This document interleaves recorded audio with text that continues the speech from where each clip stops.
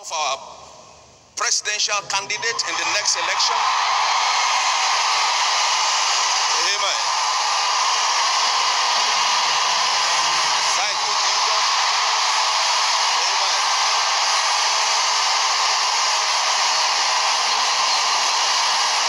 Let's have some silence. Let's have silence, please. Thank you, Jesus. Let's have silence. Please be seated, everybody. Amen. Please stay organized as winners in the house. Amen. We have with us tonight Mr. Peter Obi in the service coming to fellowship. Amen.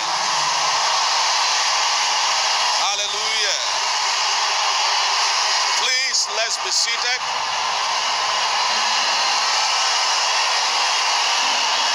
Hallelujah. The Lord is good. Also,